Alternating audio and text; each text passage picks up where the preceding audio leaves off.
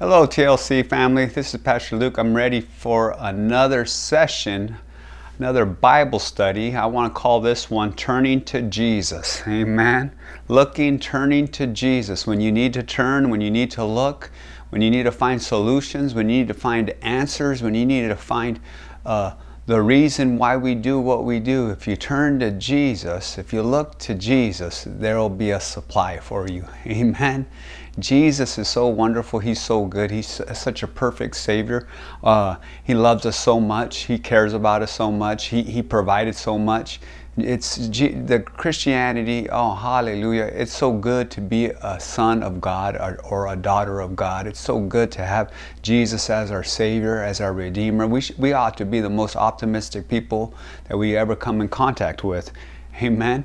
You, you ought to see Christians, and Christians ought to have a smile on their face, right? A big smile on their face. What, what, are you What are you excited about? Well, what's new in your life? Well, I'll tell you what. There's so much for us to be excited about. There's so much for us to be uh, enthusiastic about. Amen. Just like you know, we just my my daughter, my youngest daughter, Eliana. She's three and a half months now, and it's just exciting, right, to see her I'll come home and I, I, look at her. She's my she's my daughter, and I, I'm, excited to see what, how she looks. And she's, you know, she's constantly changing because they're growing so much.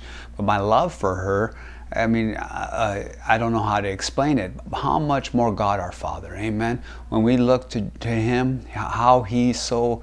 Uh, he, gets giddy when, when we look to him. He gets excited when we look to him. He gets uh, uh, what's the word? He, he, he, we're, we're always on his mind. He never stops thinking about you. You think you think about yourself more than anybody, probably so. But God thinks about you and He's already provided for you everything that you ever needed pertaining to life and godliness. So it's good to be you. You know, if people would just change their attitude and look to Jesus, life would be a whole lot simpler. It'd be a whole lot more enjoyable. You'll get, you'll be uh, easy to get along with. You won't have.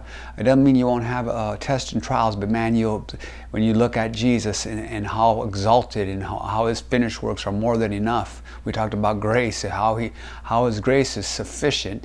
We'll look at life's trials and we'll be like Paul and we'll say, None of these things move me, neither do I count my life dear unto myself. Hallelujah. So uh, we, we ought to be so established in, in Christianity where we're constantly, we, we, we never look away. Amen. We're always looking to Him.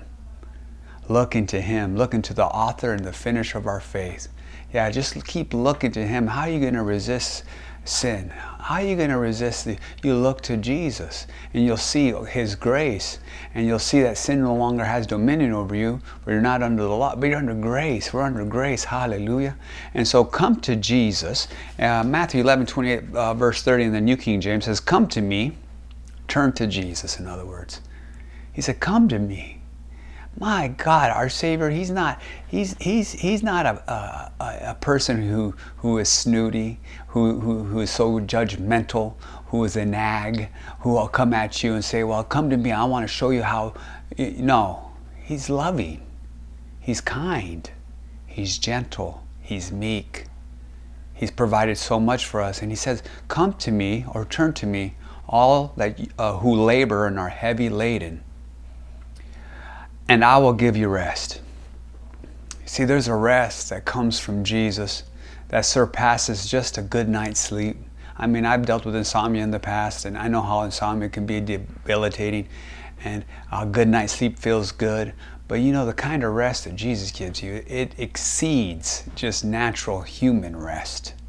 Hallelujah. He said, Come unto me, all you that labor and are weary, are tired, and uh, turn to me, look to me and I will give you what? Rest, heavenly rest. Rest for your body and your soul. Hallelujah. So take my yoke upon you and learn from me. Where are we supposed to be learning from? Well, if you're not looking to Him, if you're not paying attention, how are you going to learn? If your ears aren't open, you're not listening. Uh, like in class, hey, you try to get the students' attention so they can listen, so they can hear. If you can learn to listen, you can learn anything in life. That's what I tell a lot of my students. Hey, if you can learn, stop, stop, learn to listen. You can do, you can learn anything in life.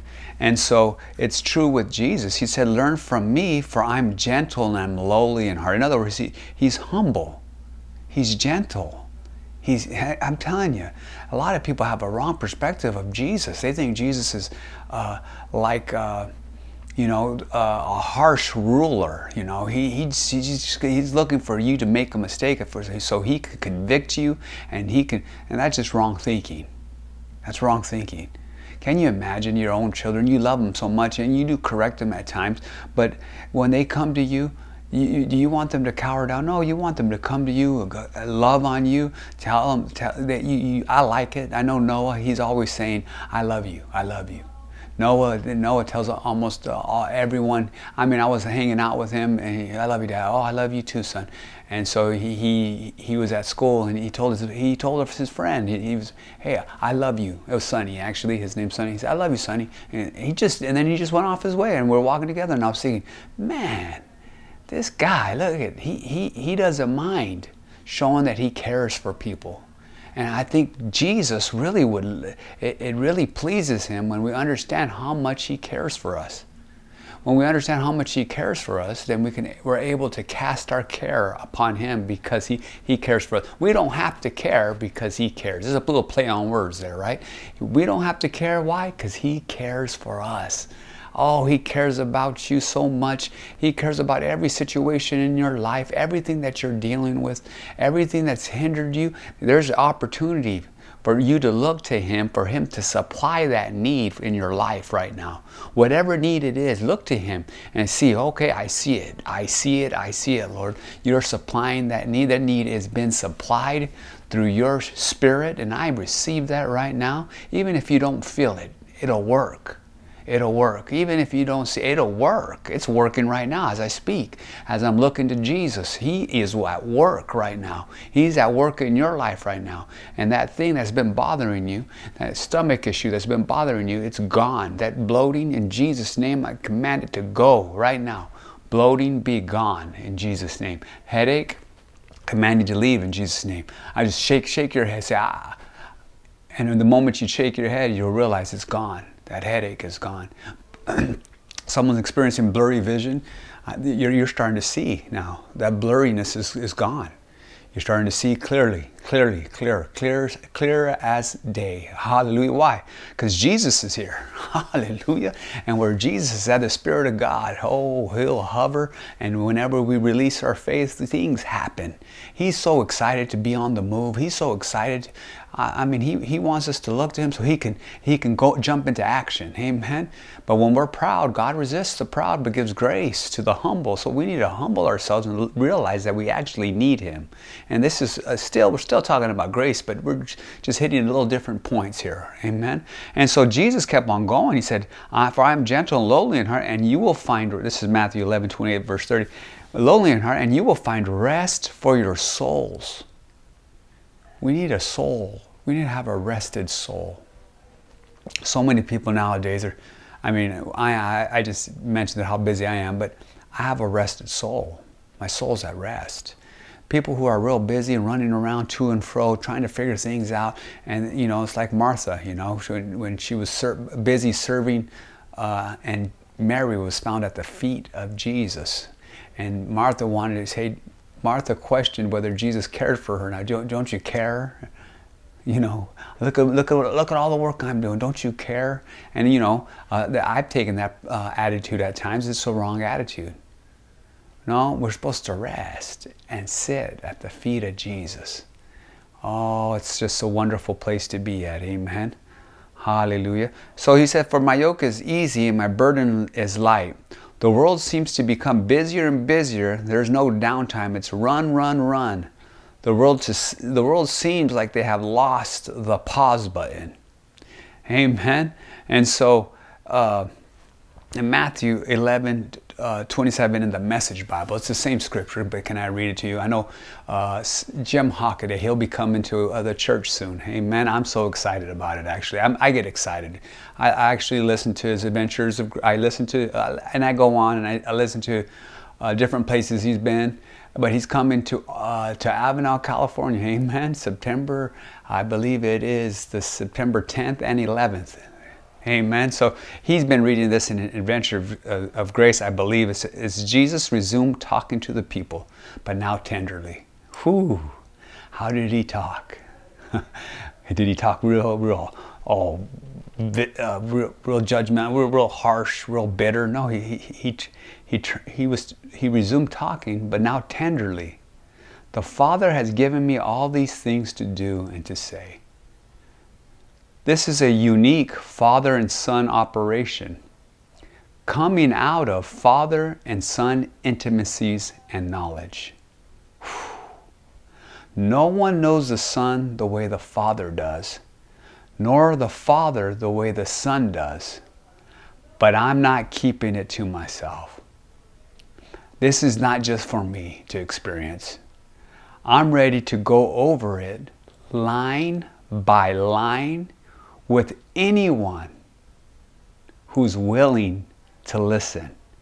Hallelujah. Anyone who's willing to give an ear. He wants to go over line by line so you can experience that same intimate fellowship, that father and son operation, that, that same position with Him. Hallelujah.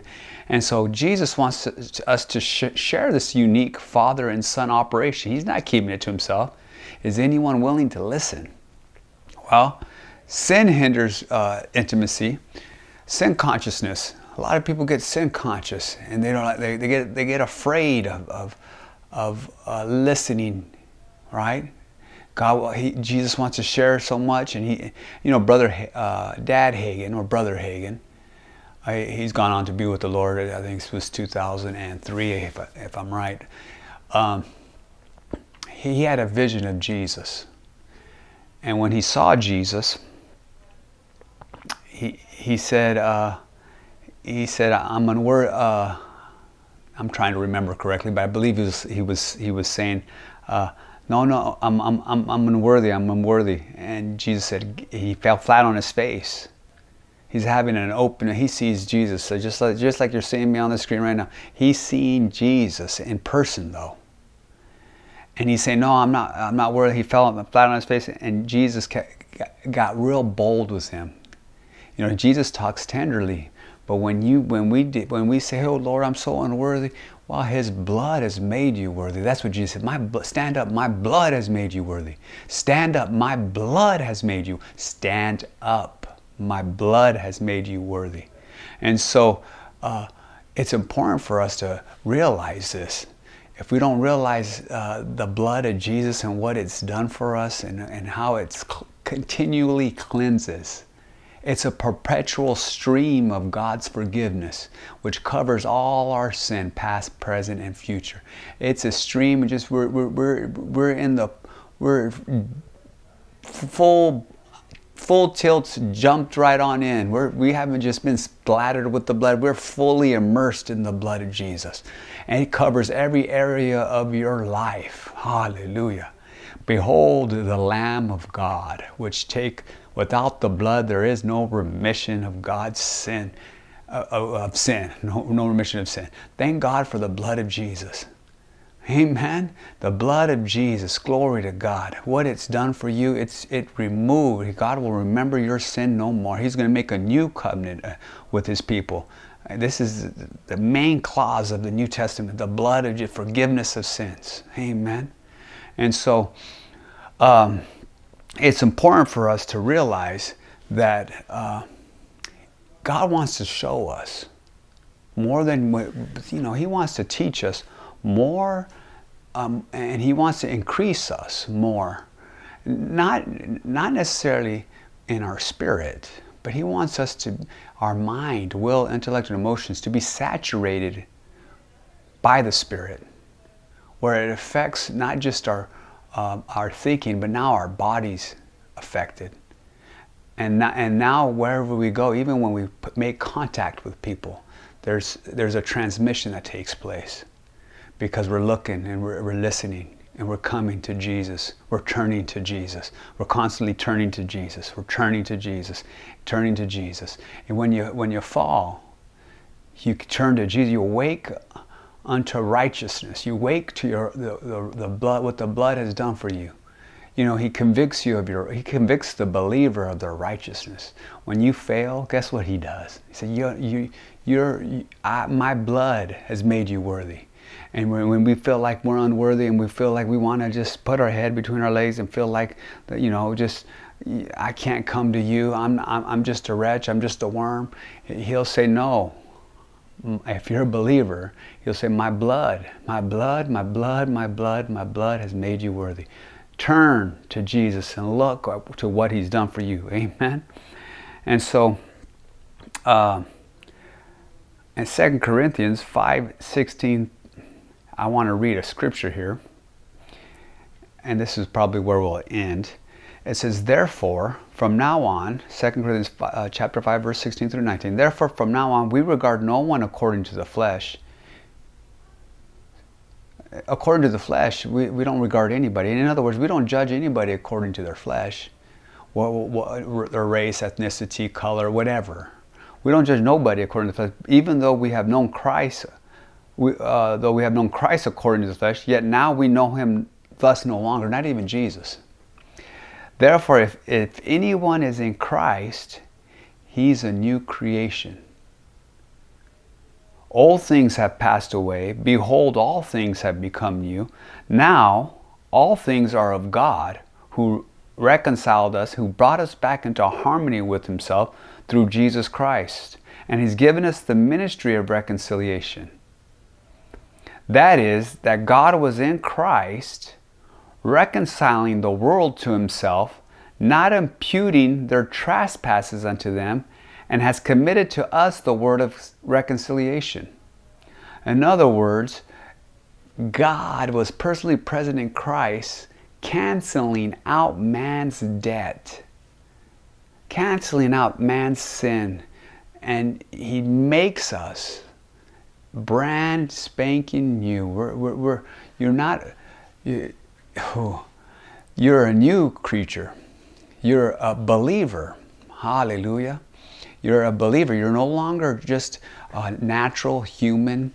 You look to Jesus, and when you look to Jesus and you said, Yes, Lord, you are, you're my Savior. I believe, I believe, I believe. He made you a new creature. And this new creature, when we turn to Him, oh, things, how, oh, how things look different when we turn to Him. Amen. How things change quickly when we turn to Him. Glory to God. And so I want to encourage you today to keep looking to Jesus, keep turning to Jesus. Don't stop. Uh, whatever you do in life, if you just, it doesn't take long. You may want to pray in the Spirit. You might want to listen to uh, ministers like uh, Jim Hockaday and Adventures of Grace or uh, a few others. You know, there's Mark Hankins. There's a, there's a bunch of ministers you can listen to. But you know, it's good to listen to messages because these people are anointed. They're there to teach and for you to receive what they have. You're receiving what they're giving. Amen. So when you look to and you listen, you're, that's part of turning to Jesus as well. Don't get me wrong, we're turning to what the Spirit is saying at that very moment. We're giving ourselves that time, and those times are important. However, it doesn't take the place of you intimately conversing with Him, you intimately turning to Him, and, and you listening to him uh, and just and just sit there quietly.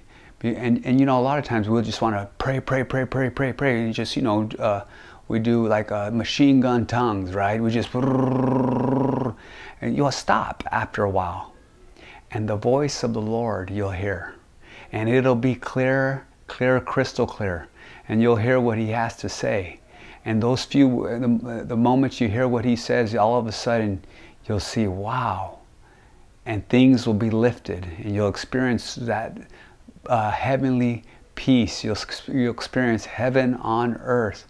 The moment you stop, you'll start to listen. You start to pray, Father, I just thank you for your goodness. I thank you for everyone who's watching right now, Father.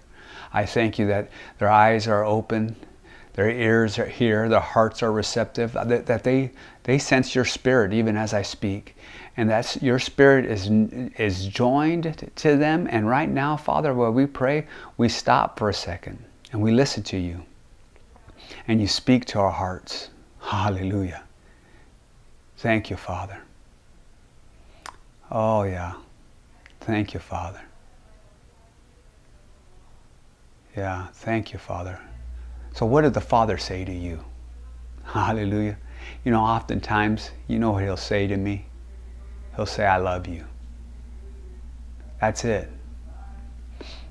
And He knows my love language.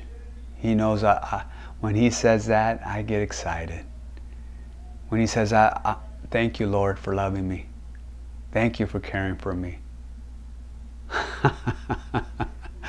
you, might not feel what I just felt, but I just get thrilled to know when I turn to Jesus, He's willing to show me the Father, show me how intimately we can be with Him.